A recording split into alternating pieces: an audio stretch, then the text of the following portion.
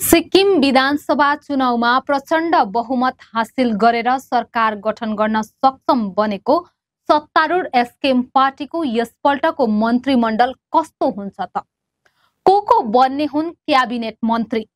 को बन्ने हुन् विधानसभा अध्यक्ष? बत्तीस मध्ये एकतिसवटा आसन जितेर बहुमतको सरकार गठन गर्न सफल गोले सरकारलाई यसपालि मन्त्रीमण्डल बनाउन कठिन हुने विज्ञहरूको ठहर छ। दुई हजार उन्नाइसमा प्रथमपल्ट सिक्किमको सत्तामा आएको एसकेएम पार्टीले त्यसबेला बत्तीसमा सत्रवटा आसन जितेको थियो। सिक्किम विधानसभा चुनावमा प्रचण्ड बहुमत हासिल गरेर सरकार गठन गर्न सक्षम बनेको सत्तारूढ एसकेएम पार्टीको यसपल्टको मन्त्रीमण्डल कस्तो हुन्छ त? को को बन्ने हुन् क्याबिनेट मन्त्री? को बन्ने हुन् विधानसभा अध्यक्ष? बत्तीस मध्ये एकतिसवटा आसन जितेर बहुमतको सरकार गठन गर्न सफल गोले सरकारलाई यसपालि मन्त्रीमण्डल बनाउन कठिन हुने विज्ञहरूको ठहर छ। दुई हजार उन्नाइसमा प्रथमपल्ट सिक्किमको सत्तामा आएको एसकेएम पार्टीले त्यसबेला बत्तीसमा सत्रवटा आसन जितेको थियो। सत्र जनाबाट चौध जनाको क्याबिनेट गठन गर्न पार्टीलाई धेरै हदसम्म सहज पनि भएको थियो। तर यसपल्ट भने पार्टीले जना विधायकबाट चौध जनाको क्याबिनेट गठन गर्न निकै मथिङ्गल गर्नुपर्ने स्थिति आइपरेको छ। आखिर गोले सरकारमा को बन्ने क्याबिनेट मन्त्री? उल्लेखनीय छ सिक्किम सरकारको क्याबिनेटमा एकजना मुख्यमन्त्री एघारजना क्याबिनेट मन्त्री र एकजना अध्यक्ष र एकजना उपाध्यक्ष रहनेछन्।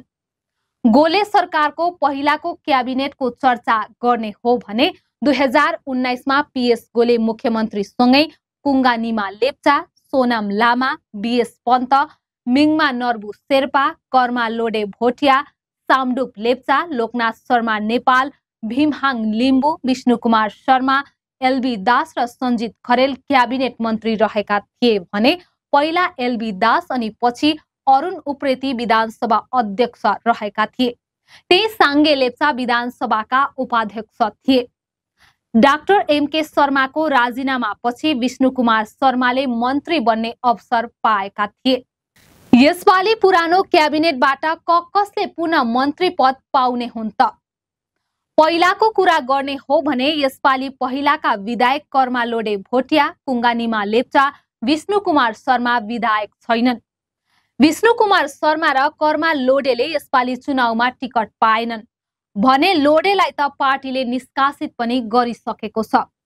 त्यही कुङ्गा निमा लेप्चा सियारी आसनबाट एसडिएफका तेन्जिङ नर्बुल लाम्टाबाट पराजित बनेका हुन्।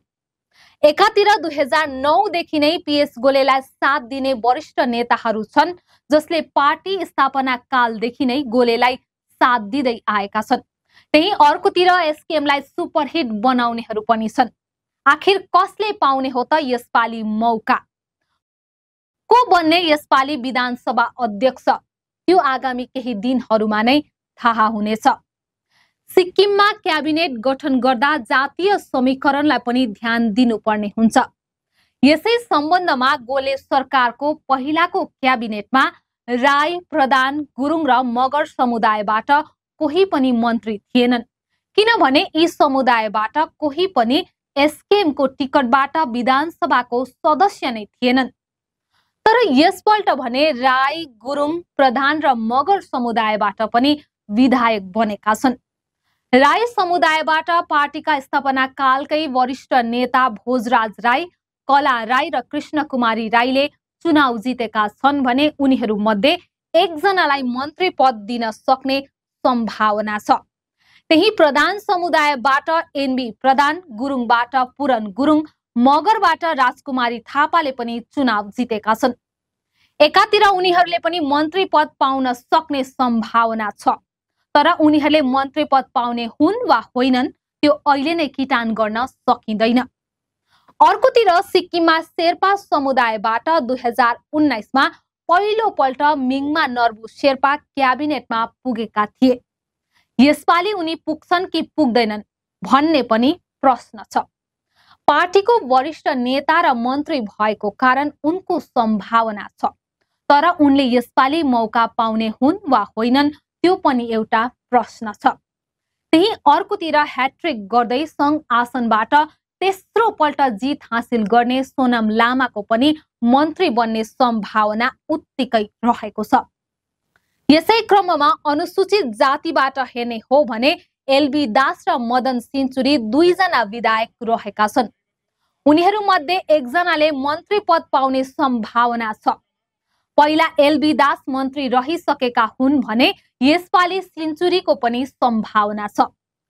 यद्यपि एलबी दास कि मदन सिन्चुरी कसले पाउने मन्त्री पद भन्ने टड्कारो प्रश्न छ। लिम्बू समुदायबाट कुरा गर्ने हो भने भीमहाङ लिम्बू र सुरेश कुमार लिम्बू दुई दावेदार छन्। भीमहाङ लिम्बू पहिलाका मन्त्री हुन् भने सुरेश कुमार लिम्बू पार्टीमा नयाँ विधायक हुन्। अब प्रश्न पुरानोलाई नै मन्त्री बनाउने कि नयाँलाई मौका दिने भन्ने रहेको छ। यसरी नै लाचेन मगनबाट एसटिएफका प्रभावशाली व्यक्ति हिस्से लाचुङपालाई पराजित गर्ने पूर्व मन्त्री सामडुप लेप्चाको पनि सम्भावना उत्तिकै छ। बाहुन छेत्री समुदायबाट हेर्ने हो भने भण्डारी कालदेखि नै विधायक बन्दै आएका अनुभवी र वरिष्ठ बिएस पन्त पनि मन्त्रीका लागि सम्भावित व्यक्ति हुन्। तर पूर्व मन्त्री बिएस पन्तको अघि पनि चुनौती छ। किनकि एसटिएफ अध्यक्ष पवन चामलिङलाई पराजित गरेर विधायक बनेका राजु बस्नेत यसपालि मन्त्री पदको प्रबल दावेदार देखिएका छन्। सिक्किम सरकारको सचिव रहिसकेकाले केन्द्रीय विभाग र मन्त्रालयसँग उनको सम्बन्ध राम्रो भएकोले पनि बस्नेतको मन्त्री बन्ने सम्भावना छ। एकातिर एसकेएमको स्थापना कालदेखिको सक्रिय नेता लोकनाथ नेपालको पनि मन्त्री बन्ने सम्भावना आफ्नो ठाउँमा छ। तर लोकनाथ नेपालको अघि चुनौतीहरू पनि धेरै देखिएको छ। एसटिएफबाट एसकेएममा आएका जिटी ढुङ्गेललाई एसकेएमले यसपालिको चुनावमा टिकट दिएपछि उनी चुनाव जित्न सफल पनि भए। उनी पनि सिक्किम सरकारका भूतपूर्व सचिव हुन्। उनलाई सडक एवं पुल विभागको राम्रो ज्ञान पनि छ। यद्यपि उनले मन्त्री पद पाउने हुन् वा होइनन् यो पनि एउटा प्रश्न छ। यता मन्त्री त्याग गरेर विधानसभा अध्यक्ष बनेका अरुण उप्रेतीले यसपालि आशिष राईलाई हराएकोले उनको पनि यसपालि मन्त्रीमण्डलमा स्थान पाउने मौका छ।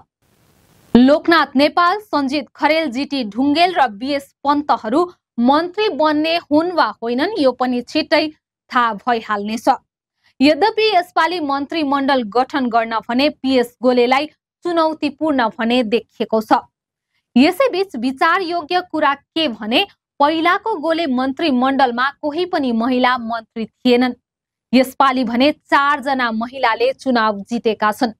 कृष्ण कुमारी राई कला राई राजकुमारी थापा र पामिन लेप्चा।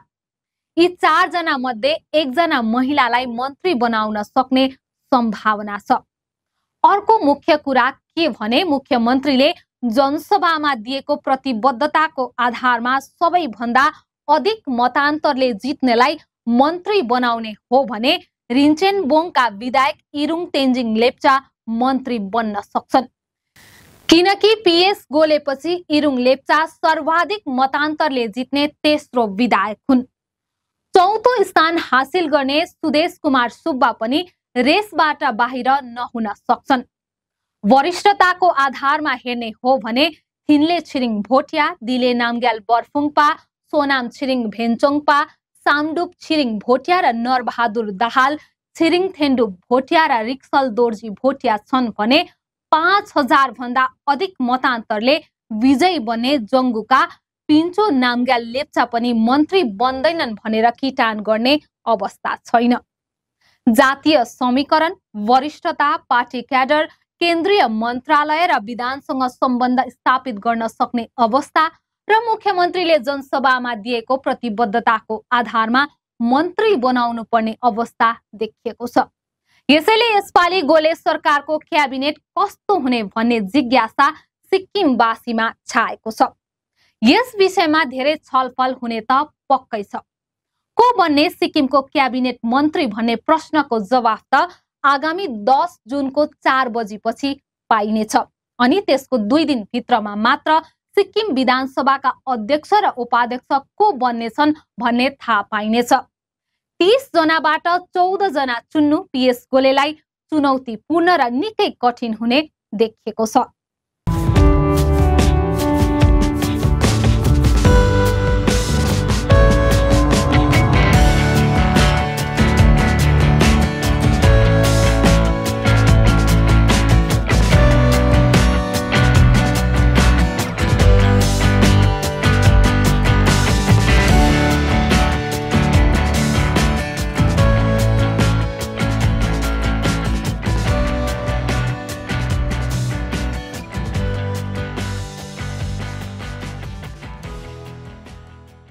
द्वारिका प्राइड सिलगढीमा फ्ल्याट लिने सही समय र सुनौलो अवसर यही हो। आफूलाई मनपर्ने इन्टेरियर्स र कलर छान्नुहोस्।